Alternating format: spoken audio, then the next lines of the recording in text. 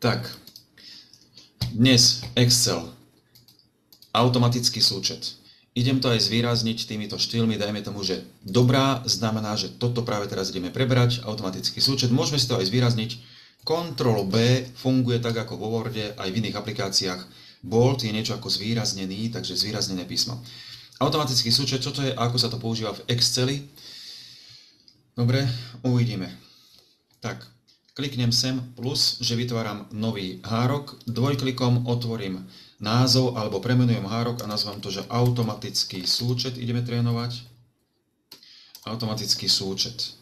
Dobre, a môžem aj do prvej bunky napísať automatický súčet, enter a dám tomu štýl, napríklad hoci je, že nadpis 1. Výborne. Trošku zväčším tento hárok, priblížim to, tomu sa hovorí, že zoom in v angličtine. CTRL a koliesko myši od seba, alebo tu klikáte do toho pluska, že tu niečo robíte. Dobre, tak automatický súčet. Automatický súčet je na to jedno tlačítko v menu domov a tu vpravo hore. Automatický súčet. Alebo vzorce a aj tu je automatický súčet. Dobre, čiže menu domov. Menu domov, potom je to Karta sa volá úpravy a potom automatický súčet, čiže meno domov, potom že úpravy a tam je automatický súčet. Enter. Dám, že kontrol, e, dám červenú farbu. Dajme tomu. No teraz pozrite sa, chcel by som túto ikonku, toto nejako, že odfotiť. Je, dalo by sa to aj takto odfotiť. Keď sa mi zobrazila tá ponuka dole, alebo tá nápoveda, že suma alt a rovná sa, alebo je dobre vedieť, je to alt plus rovná sa, to je perfektné. Čo keby som teraz urobil, že print screen? Chcem si to odfotiť. Na klávesniciach na každý z vás má kláves PRTSCR alebo print screen, aj kto má notebook. Takže ešte raz ukázať. Print screen, výborne. Teraz mám, ja mám aj Dropbox nainštalovaný, preto sa mi vpravo dole vysvietilo, že screenshot edit. Screenshot was added to your Dropbox, čiže tá, tento obrázok, vznikol obrázok typu predpokladám PNG alebo JPG a tento obrázok sa mne uložil zároveň do cloudu Dropbox. Ja mám Dropbox zadarmo. A čo keby som teraz tu na urobil, že vraj Ctrl V, prilepiť. Je krása a mám to tu. A teraz to môžem orezať. Ale čo keby som radšej urobil takto? Toto je dosť veľký obrázok, zabrať to nejaké miesto v počítači. Delete. Vľavo dole čuknem do štartu, napíšem ski, že hľadám skicár. Je, do, je to taký celkom fajn. E, grafický editor, že vo Windowse. Kto chce, môže používať iný editor. Ja používam ešte View. Tu urobím Ctrl V. Krásne, tu na to mám. Teraz trošku sa pohnem doprava. Toto orežem. Kliknem sem, že vybrať. Teraz to takto orežem. Odtiaľ to dajme tomu. To som len označil oblasť, select sa tomu hovorí, a orezať teraz. Čuk.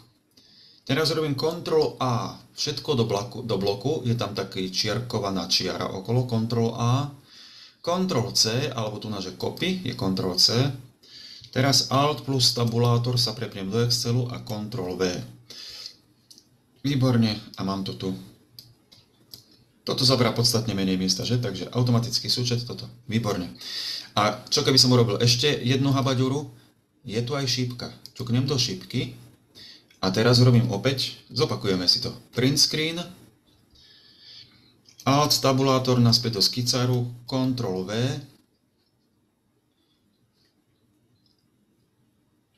mm, a nefunguje to dobre. Vidíte, tá ponuka tam nie je otvorená. Urobil som Ctrl V, Mm, zatvorím to. Nejde to dobre, no škoda. Takže tá ponuka sa mi tam ne, neuložila, to je zvláštne, že? Ešte raz to skúsim, že takto. Print screen. Skúsim tu kontrolové. Dobre, teraz to všetko zmenším. A jasné, predstavte si, a vidíte, tá otvorená ponuka sa neokopírovala tým print screenom, neuložila. Zvláštne. Dobre, no čo už, deleteom to vymažem. Zväčším. Dobre, aby som nezdržiaval. Tak, takýto mám obrázok. Kto chce, môže sa pohrať aj s obrázkami v menu formát, kliknúť na obrázok formát a môžete to dať do nejakého rámčeku, proste ako sa vám to páči, že? Že ten obrázok môže byť taký, taký zvláštny. Dobre, ja som ho dal práve do takého nejakého zvláštneho rámčeku. Tak, dobre, ideme na to. Stačí urobiť nejaký príklad a uvidíte, ako to funguje. Že menu domov upraví automatický súčet, alebo ešte napíšem múdru vetu. Automaticky, automaticky doplní, doplní do tabuľky vzorec pre výpočet. Vzorec pre výpočet. A to stačí, keď ťuknete sem na toto šípku, takže toto. Suma, priemer, suma, priemer, počet čísiel, max, min. Čiže suma, čo to robí? Suma, priemer, počet čísiel, max, min. Tieto bonky označím, chcem ich dostať za okraj sem doľava, to je presúvanie. Dobre.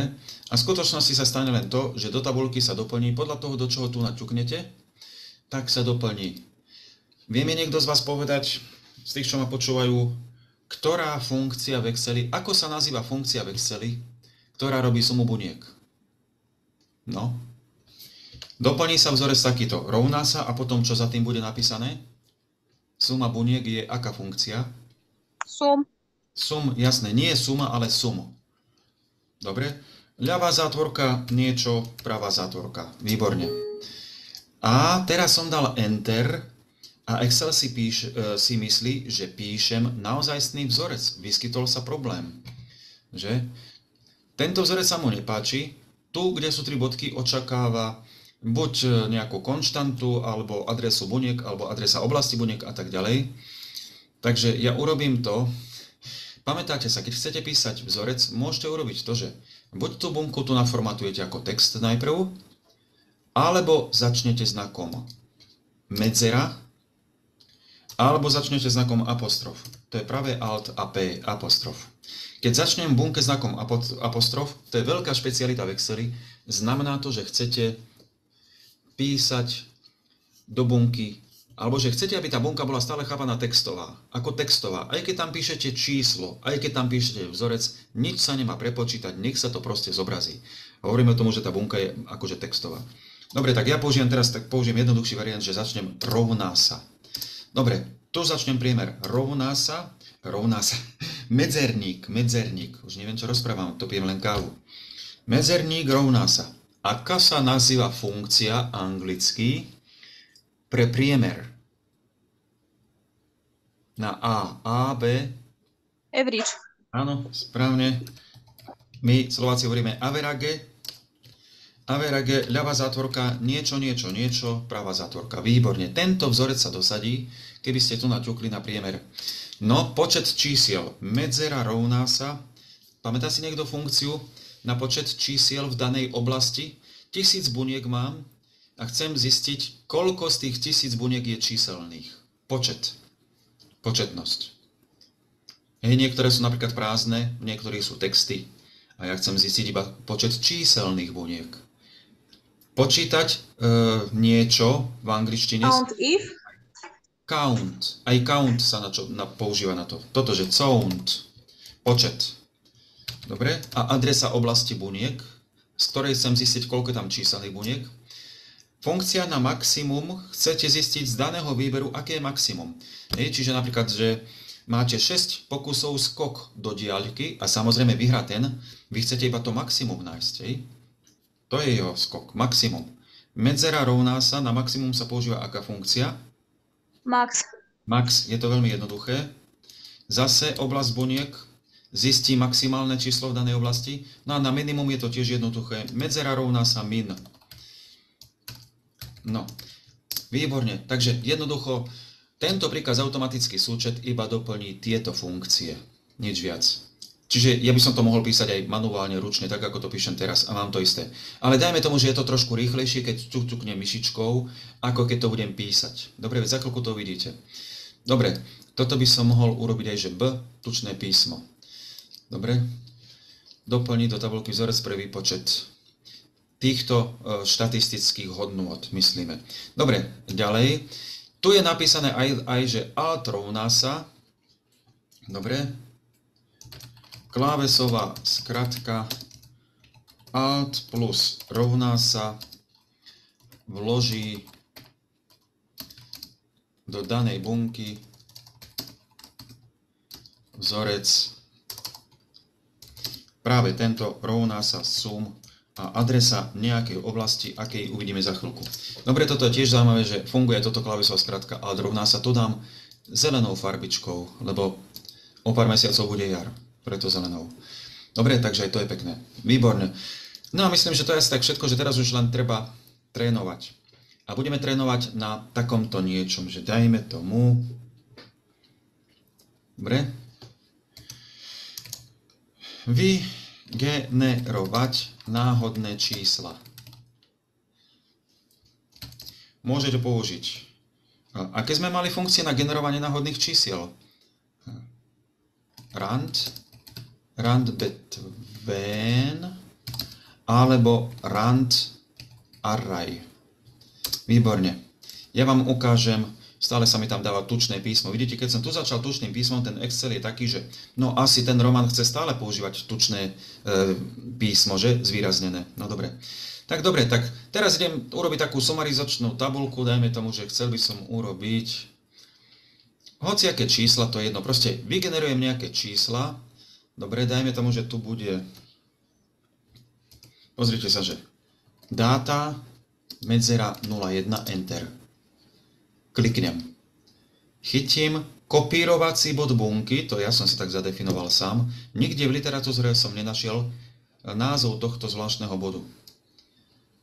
A dáme to až, a kľudne až po 10, čo vy na to? No a čo? Výborne, 10. Tak, tieto dáta jedna, počkajte, tu mám, alebo tu by som mohol dať poradové čísla, nie, nedám sem poradové čísla, ale vlastne bude to problém. Keď sem dám poradové čísla, že tu bude p.č. tak sem dám, že dáta f2 takto. Opäť chytím. Tak, výborne. Ak to budú poradové čísla, tam bude problém. A tu nejaké dáta vygenerujem. Dajme tomu, že chcem vygenerovať dáta, čo ja viem. Poradové číslo 1, enter, 2, enter. Označiť. A dajme tomu, že mi stačí po desinku iba. Tak, dobre. Teraz dajme tie poradové čísla, takto vycentrujem aj poradové číslo. Vycentrujem. Dobre. Tak, a tu by som chcel vymyslieť nejaké čísla. To je jedno, je to skok do diaľky alebo čokoľvek. Kto má najnovší Excel, môže svetovo využiť túto funkciu rand array, asi takto. Rovná sa rand array, ľavá zátvorka, riadky. Koľko máme riadkov? 10. Bodka čiarka sa používa ako oddelovací znak Oddelovací znak na Slovensku v slovenskej verzii Excelu medzi jednotlivými tzv. argumentami funkcie. To, čo je medzi dvomi zátvorkami, by sa dalo ľudovo povedať, že to sú vstupné dáta pre danú funkciu. Funkcia je program, ktorý niečo robí s týmito vstupnými dátami a vypočíta, čo si urobí niečo a vyhodí to nejaký výsledok. Dobre, funkcia vždy má vrátiť nejaký výsledok. Stĺpce. Stĺpcov máme dáta 1 až dáta 10. Stĺpcov máme tiež 10 bodkočiarka, chceme začať, dajme tomu číslom min-max. Chceme generovať čísla od 1, bodkočiarka po 100, bodkočiarka. Či to majú byť iba celé čísla alebo desatine, vidíte, to sú tie logické konštanty true, false. Ja ťuknem dvakrát do true, alebo môže napísať true, že iba celé čísla. A teraz to true sa môže písať kľudne aj malým, aj veľkým písmom. Teraz nemusím dať vôbec pravú zátvorku, lebo v prípade, že píšete jednoduchý vzorec iba s jednou funkciou, tak nemusíte dávať pravú zátvorku, lebo Excel je taký dobrý, že tú zátvorku doplní aj sám. Čiže Enter, pozrite sa a mám 10x10 100 čísiel, že? E, vy, čo ste takí lepší znalci, viete, že keď stlačím kláves F9, to znamená prepočítať opäť všetky bunky v tomto zošite, vo všetkých arkoch, tak sa mi to zase zmenilo, pretože sa tá funkcia rent array prepočítala. Dobre, krása. F9 je prepočítať. To sa budeme učiť. No a kto nepozná rent array, že jednou jedinou funkciou môže takto vyplniť oblasť buniek, tomu sa hovorí aj, že funkcia poľa. V starom Exceli to bola, že funkcia pola, poľa, že toto je pole buniek. Dobre. Kto nepozná rent array, tak kliknem sem, urobím delete. Tak môže použiť takéto niečo. Ak chcete čísla od 1 po 100, rovná sa rand šípka dole na rent array, klávesnicová šípka dole, tabulátor tamto funkciu doplní. Aha, nie. Takže rand between som chcel, tabulátor od 1 bodkočiarka po 100. Od 1 bodkočiarka je tesne pod escapeom po 100. Enter. No ale teraz treba urobiť toto. Pozrite sa, urobím to klávesnicou. Ctrl C, Shift a šípka doprava, držím Shift, Shift a šípka dole označím, mohol som to aj myšou označiť, a Ctrl V. Aj tak to môžem kopírovať. Opäť keď stlačím F9, tak sa to všetko kedykoľvek znovu prepočíta. Tak, výborne, tabulku mám hotovú. Čiže chcel som vygenerovať nejakú datovú tabulku. No a konečne môžeme ísť na tie automatické súčty, no to sme zvedaví, ako to bude fungovať. Ešte tú tabulku by som mohla aj tak nejako naformátovať, viete, že poradové číslo označiť, tomu dám, dajme tomu formát, také šedé bunky to môžu byť, že, a B, tučné písmo. Toto tiež, poradové čísla, dajme tomu, že bude poradové čísla budú takéto bledomodré a tiež môže byť tučné písmo, e, tučné písmo som chcel, Ctrl B. A ešte viete, že možno, že ovládate, čo robí Ctrl plus A. Kurzor v tejto tabuľke vyplnenej kdekoľvek, Ctrl plus A je výborná vec, označí iba danú tabuľku. Druhé Ctrl plus A označí celý hárok. Takže len raz, lebo som chcel čo? Toto písmo, oramovanie, vôbec to nebalo byť v písme, lebo to sa netýka písma, to oramovanie a dáme tam všetky oramovania. Výborne, tak. No a dajme tomu, že tu by som chcel mať suma riadková a tu by som chcel mať tiež, že suma stĺpcová. Dobre, tak vyskúšame, ako na takéto niečo. Suma riadková, suma stĺpcová. Kto by nepoznal automatický súčet, urobí toto. Rovná sa sum ľavá zátvorka, myšou označí tieto dáta, Enter, klik na bonku, dvakrát klik na pravý dolný roštek. Hotovo. Bohužiaľ aj sem sa hodila suma, čo v podstate aj môže byť, pretože tu vľavo mám nejaké dáta. Keby tento text tu nebol, tak sa sem vzorec nedoplní. Dobre, ešte tieto dáta, dajme tomu označím a dám Ctrl I, aby sa trošku líšili od tých mojich výsledkov, že? Ctrl plus I. Kto chce, môže tomu dať aj inú farbu, dajme tomu nejakú, to je jedno, alebo podsvietenie, to je jedno. Dobre, tak dám tomu jemné podsvietenie, podsvietenie tu vedľa, zelené. Že to sú dáta, ktoré môže meniť. To sú moje namerané hodnoty z nejakých, z nejakých meraní. Dobre? Tak, Čiže rovná sa sum píšem. Dobre, teraz Shift. Naučím vás, ako označiť rýchlo celý tento stĺpec, lebo ho chcem zmazať. Prípadne v tomto prípade by som mohol aj Ctrl Z, lenže Ctrl Z mi najprv zruší to, túto zelenú farbičku. Naučím vás, ako rýchlo toto označiť a potom deleteom to vymazať. Kurzor je na prvej bunke ľavá ruka, alebo aj pravá, ako chcete, stlačí tieto dva klávesy Shift a Ctrl sú tesne nad sebou. Že? Shift pre veľké písmenka, CTRL, akože Ctrl, riadiaca klavesa. Shift, CTRL a ťuknete raz do šipky dolu. Tento trojhmat, keby ste sa naučili klávesové skratky v Exceli a študovali ich, Shift, CTRL a ťuknúť do šipky dole, ak je kurzor tu, znamená, že kurzor, keby ste nedržali Shift, iba CTRL a šípka dole, kurzor skočí sem, Pozrite sa. CTRL šípka dole, CTRL šípka hore. Skok na e, prvé číslo vyplnenej oblasti dát, skok na posledné číslo.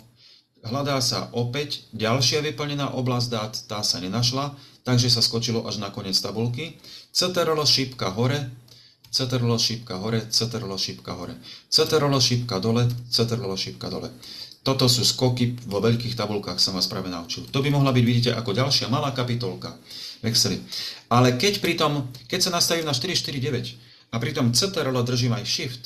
Shift znamená v Exceli označ bunky, rob výber, selektuj text, bunky, čokoľvek. Shift. Shift plus CTRL a šípka dole a mám to vybraté. Perfektne, že? Kto to nevedel, bude teraz rýchlejší a môže to vedieť až do konca života. Delete, vymazať. Dobre? A teraz skúsme, čo urobí. Je tu napísané, že Alt a rovná sa. Rovná sa hľadajte slovenské nad klavesom P. Ľavé Alt a rovná sa nad klavesom P, trošku vpravo. Výborne, pozrite sa. Ale jeden malý problém. Ponúklo mi to vzorec, ale ešte to nestlačilo Enter. Enter mám stlačiť ja. Ale našli sme práve takú veľkú zásadnú chybu. Ak aj poradové číslo v tejto bunke je typ dát číslo, tak sa chce aj tá jednotka zrátať dokopy. Takže to asi nebude príliš vhodné, pravda? Takže tu máme malé logické problémy. Toto nedopadne dobre, ak používate poradové čísla. Tak kedy by to asi dopadlo dobre? Čo myslíte? Odpoviem si sám, keby tu medzi prvým a druhým stĺpcom bol jeden prázdny stĺpec. Alebo toto, keby boli texty. Keby poradové čísla boli texty, dopadne to dobre. Keby tu bol prázdny stĺpec, dopadne to dobre. Takže v tomto prípade takúto sumu alt a rovná sa takto neviete použiť. Takže escape. Dobre? Tak potom naučím vás, že dopadne to dobre, keď robíte toto. Označíte alebo ešte by sa to dalo aj takto robiť. Označíte, že tu chce mať výsledky a znovu urobíte Alt rovná sa, alebo ťuknete sem na toto tlačítko automatický súčet. Dobre vypočítal, lenže pozrime sa na prvý vzorec. Opäť to ide až od tejto bunky prvej A15. Takže nebolo to dobre. Ctrl Z. Dobre, čiže keď označím oblasť výsledkov, Alt rovná sa vypočíta všetko, to je super. Ctrl Z. Ale keď nechám kurzor iba na jednej bunke, tak Alt rovná sa vypočíta iba tú jednu bunku, potom Enter a potom by som to musel dvojklikom kopírovať dolu. Ctrl Z, Ctrl Z. Ale bohužiaľ nám tam toto vadí. Tak potom by sa to dalo možno takto. Pozrite sa. Označte to takto. Možno aj s touto oblasťou výsledkov. Alebo dobre, najprv bez oblasti výsledkov a automatický súčet pridá to smerom dolu, lebo ono to nevie, že to má pridať doprava. Štandardne pridá výsledky dolu a tieto výsledky sú správne, lebo tu je textová bunka. Toto dáta 01 je textová bunka. Čiže hľadá to všetky číselné bunky nad touto bunkou, ten príkaz automatický súčet, skončí pri prvej prázdnej bunke zrejme, alebo pri prvej bunke textovej, alebo nečíselnej a takýto vzorec tam dosadí. Dobre, Ctrl Z. Čiže ešte raz, dá sa s tým robiť aj tak, že označím dáta, z ktorých sa má vypočítavať suma a automaticky súčet urobí sumu dole. Habaďura je takáto, riešenie označte to aj doprava, aj s touto prázdnou oblasťou, kde by ste očakávali výsledky a teraz ťuknite Alt rovná sa alebo automatický súčet a máme výsledky a hurá, vyhrali sme. Dvojklik, B15 je tu. Vidíte? Až po K15. Takže v prípade teda, že máte poradové čísla, tak ešte raz Ctrl Z. Označte to do bloku. A tieto šedé bunky mi tu vadia, že? Lebo šedie sa používa na označovanie, tak tieto bunky budú, rozhodol som, že, že takéto a B tučné písmo. Čiže označte do bloku tieto bunky, Alt rovná sa a máte výsledky. Dobre? A čo keby som robil teraz, že označím tieto bunky, alt rovná sa a mám výsledky. Krása. Joj, aké je to dobré s tým pánom Malikom, no, jak to rýchlo dobre ide, že? Vynikajúce. Tak takto funguje automatický súčet. No a čo keby som chcel priemer? No s priemerom by to bolo možno trošku horšie. A keď sem teraz napíšem, že priemer, a sem ťuknem, že tu by som chcel priemer, alebo že toto označím, a tu chcem mať priemery šípka, priemer. No, tak pozrite sa, dvojklik. B15 až B25. On aj z tej sumy robí priemer, veď, ale to je chyba predsa, programátorská chyba najvyššieho rangu. Takže bohužiaľ, keď už do ďalšieho riadku píšete priemer, to už nie je dobré, lebo samozrejme on berie aj túto sumu. No tak máme problém. A rozmýšľam, teda Ctrl Z, a keby sme to robili takto, A teraz zvolím, že priemer. To som ešte nerobil. No tak čo tu je? 391 je suma. A tu je priemer. Predstavte si, vidíte? Veď áno, veď, lebo tam je 10 hodnot, takže keď tu je 391, tak 391 deleno 10 je 39,1. Výborne. O, aký je ten Excel supermanovský, že? Čiže keď som toto dal do bloku a teraz urobím, dajme tomu maximum. Výborne, sem dal maximum.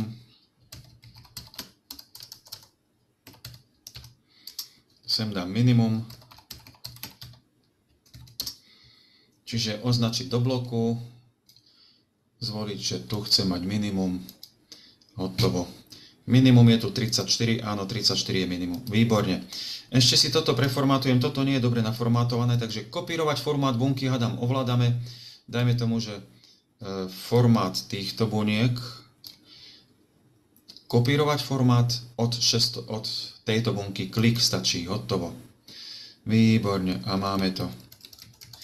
No samozrejme, že chcel by som mať aj tu na tie isté vzorce, tak urobiť toto. Označiť do bloku, potiahnuť doprava, a máte aj tu vzorce. Tak, hotovo. No, tak takto sa nejak používa automatická suma alebo súčet, prípadne aj tieto iné funkcie. V podstate sú to len funkcie Excelu všetko. Dobre, takže ešte raz na záver zopakujem, že najviac sa asi používa to, že keď máte takéto dáta,